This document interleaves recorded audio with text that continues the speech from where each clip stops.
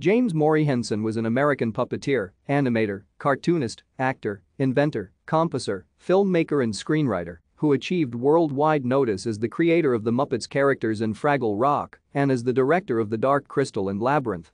He was born in Greenville, Mississippi and raised in Leland, Mississippi and University Park, Maryland. Henson began developing puppets in high school.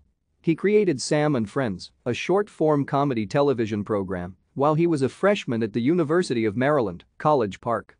He graduated from the University of Maryland with a degree in home economics, after which he produced coffee advertisements and developed experimental films. In 1958, he co-founded Muppets Incorporated, which became the Jim Henson Company. In 1969, Henson joined the children's educational television program Sesame Street, where he helped to develop Muppet characters for the series. He and his creative team also appeared on the first season of the sketch comedy show Saturday Night Live. Thank you for watching. Like and subscribe if you would like to view more of our videos. Have a nice day.